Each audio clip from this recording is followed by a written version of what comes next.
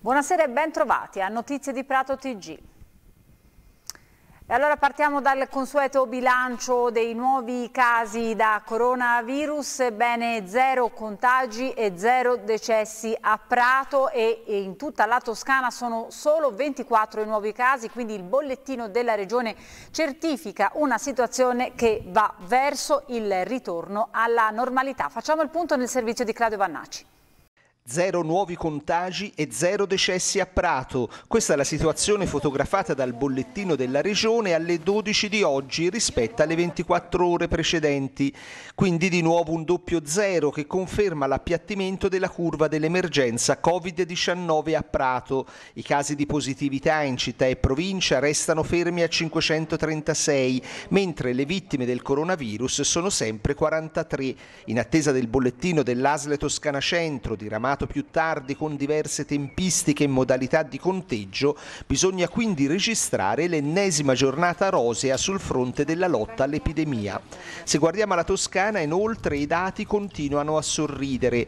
Da ieri i nuovi tamponi positivi sono appena 24, il totale sale a 9.745 casi, il punto più basso dal 4 marzo, quando però i tamponi analizzati erano poche centinaia, mentre solo nelle ultime 24 ore sono stati 4.285. I guariti crescono del 3,8% e raggiungono quota 4.360.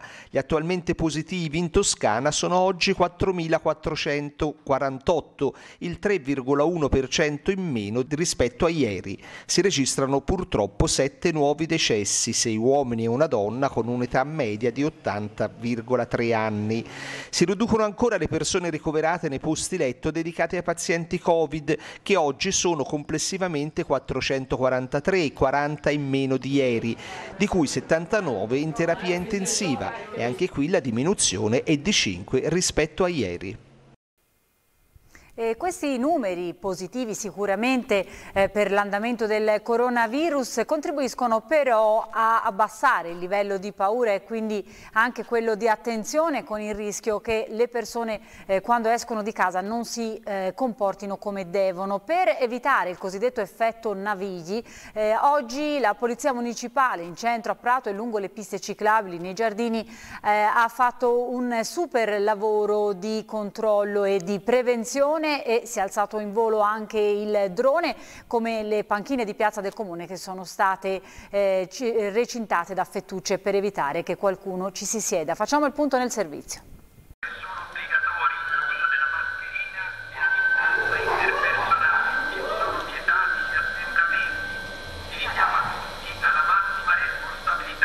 È la voce del sindaco Matteo Biffoni che in un messaggio registrato, trasmesso via megafono, ha invitato la popolazione a indossare la mascherina, a tenere la giusta distanza dagli altri e a evitare raggruppamenti di persone. È stata una giornata impegnativa per la Polizia Municipale di Prato, chiamata a fronteggiare eventuali comportamenti scorretti da parte dei cittadini rispetto alle nuove misure di contenimento del coronavirus.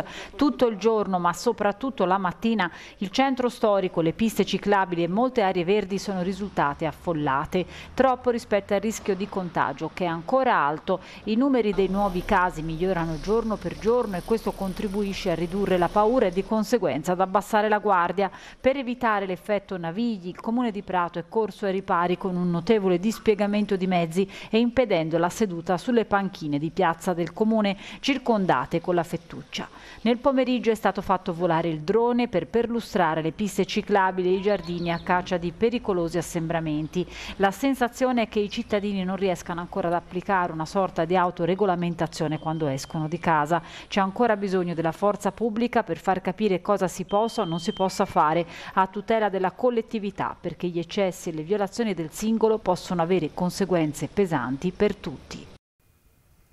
Allarme polpette avvelenate a tavola dove nella giornata di ieri almeno due cani si sono sentiti male dopo aver ingerito dei bocconi trovati in una aiuola in via Iorio Borchi. Immediato l'allarme della Polizia Municipale che intorno alle 20.30 di ieri ha fatto un sopralluogo rinvenendo almeno 5 bocconi sospetti. Si tratta di polpette di carne macinata che erano state disseminate lungo la siepe che circonda l'area verde. Sono state sequestrate e inviate al laboratorio per essere analizzate e capire se sono effettivamente avvelenate. La Polizia Municipale ha poi fatto intervenire gli operatori di Alia che hanno bonificato l'intera zona verificando che non potessero esserci altri bocconi sparsi nell'erba.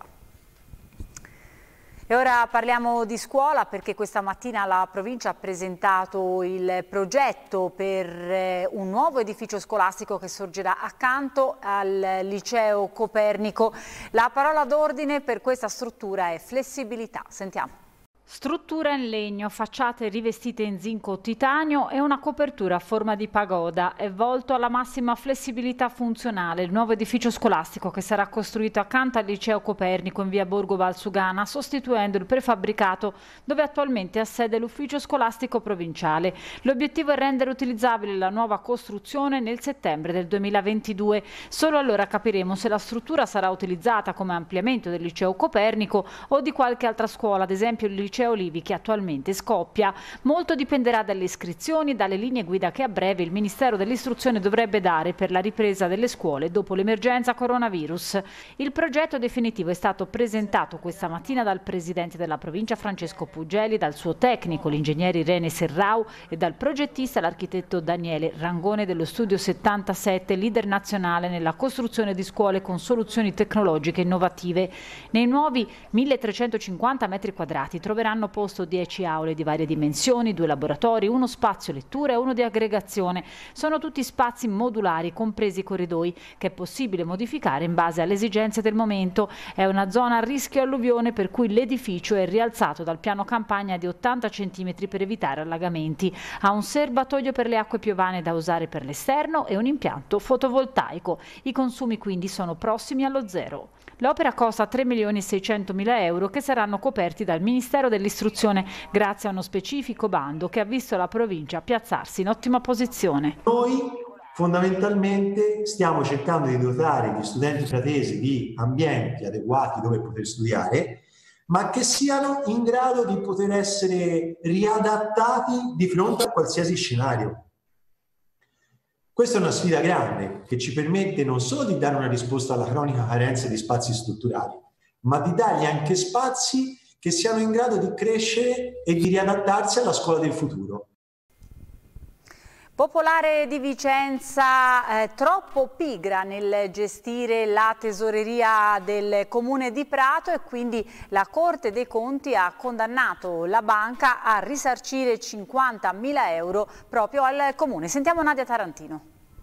La Banca Popolare di Vicenza, da tre anni in liquidazione coatta amministrativa in seguito al dissesto finanziario, è stata condannata dalla Corte dei Conti della Toscana a risarcire con quasi 50.000 euro il comune di Prato. All'origine della sentenza una serie di irregolarità sulla gestione dei conti dell'ente operate tra il 2009 e il 2013, anni in cui l'Istituto di Credito Vicentino era tesoriere del comune. Le irregolarità sono emerse in seguito a una complessa verifica dei diversi conti correnti accesi quando l'insieme consegna era ancora quella della Cassa di risparmio di Prato. Stando alla ricostruzione della Procura Contabile e al successivo convincimento dei giudici, la BPV ha svuotato con ritardo i conti correnti postali intestati al Comune di Prato, causando in questo modo un danno alle casse pubbliche pari alla differenza tra il rendimento lordo che sarebbe stato percepito se i soldi fossero stati subito prelevati e riversati in tesoreria e quanto effettivamente percepito da poste italiane.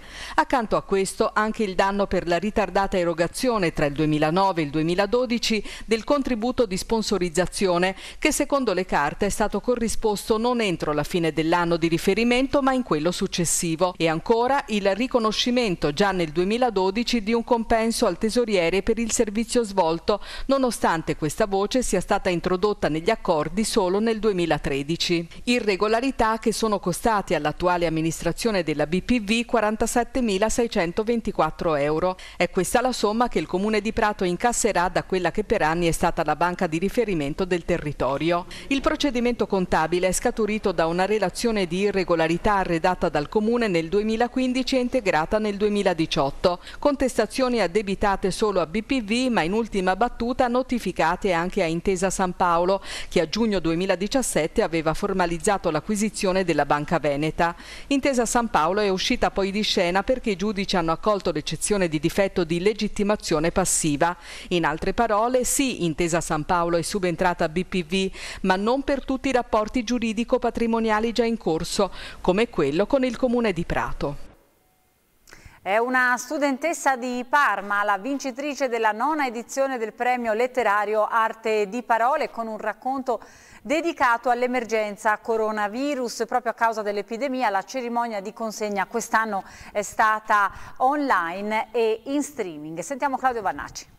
È Eleonora Agostinelli del Liceo Scientifico Marconi di Parma con il racconto intitolato Silenzio, la vincitrice della nona edizione del premio Città di Prato Arte di Parole Gianni Conti, premio letterario nazionale riservato alle scuole superiori di secondo grado.